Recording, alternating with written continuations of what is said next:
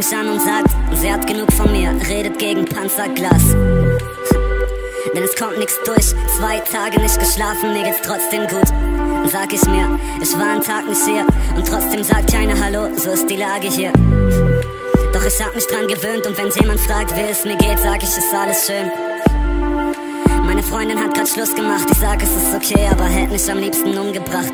Nicht wörtlich, mehr so alle Gefühle töten. Ich hab keinen Plan, ob das gestört ist.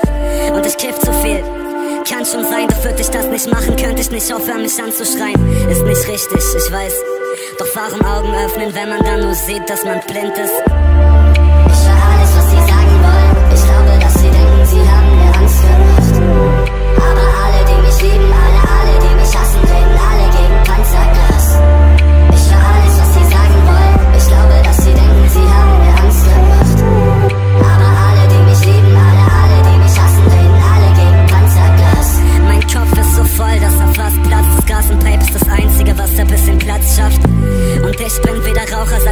Bin. Und ich klär mir wieder Weiber, seit ich Single bin. Aber keine, die die Lücke füllt. One-Night-Stand hilft dir halt nicht, wenn dir ein Stückchen fehlt. Alles schwarz und ein Blinder mal Bilder. Wenn ich Farbe will, reicht mir auch ein Instagram-Filter.